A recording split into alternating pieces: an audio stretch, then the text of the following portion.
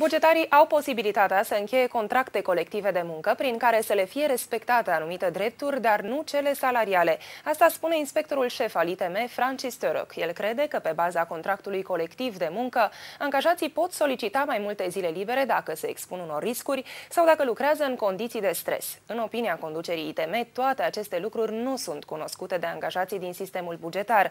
Nici măcar angajații de la ITM Sibiu nu au contracte colective de muncă. Și asta pentru că sindicatul Sindicatul care îi reprezintă nu a făcut niciodată demersuri în acest sens, a mai spus Francis Tărac.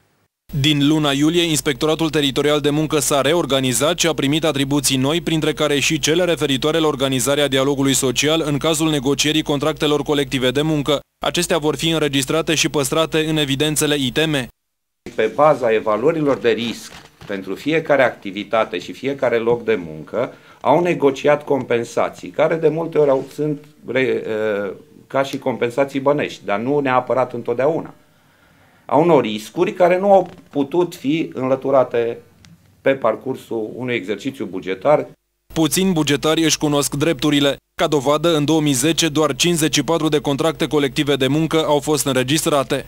În piața muncii se operează la vânzarea, respectiv cumpărarea forței de muncă. Angajatorul vinde forța de muncă, Uh, angajatul vinde forța de muncă și angajatorul cumpără. Și atunci este firesc ca între aceste două părți să se stabilească această relație socială.